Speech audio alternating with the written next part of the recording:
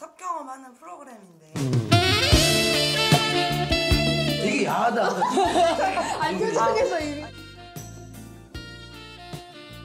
이런 거 하면 재밌겠다. 저희 뭐난 가수를 제대로 하고 싶어. 가수를 제대로 하고 싶어. 지금 저렇게 글로벌하잖아 지금. 빌보드 도전 뭐 이런 거 있잖아. 내 피땀 눈물 내 마지막 춤을 절벽에 매달려서 하룻밤 자는 거 있잖아. 스카이 다이빙도 하면 해.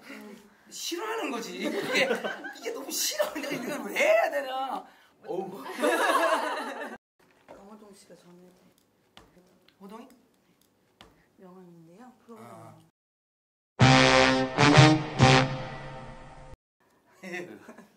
강호동. 이게 무슨 나이트클럽 명언 같아. 웨이터 강호동. 어머 나이트클럽. 강호동이란 이름 자체가 이거 그 피곤한 스타일이에요. 네. 내가 24시간 대기 중이래잖아 심지어. 불안하다. 살살하자.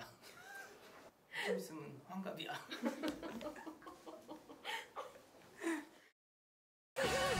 뭐야? 뭐야? 어, 다시요. 어디 가?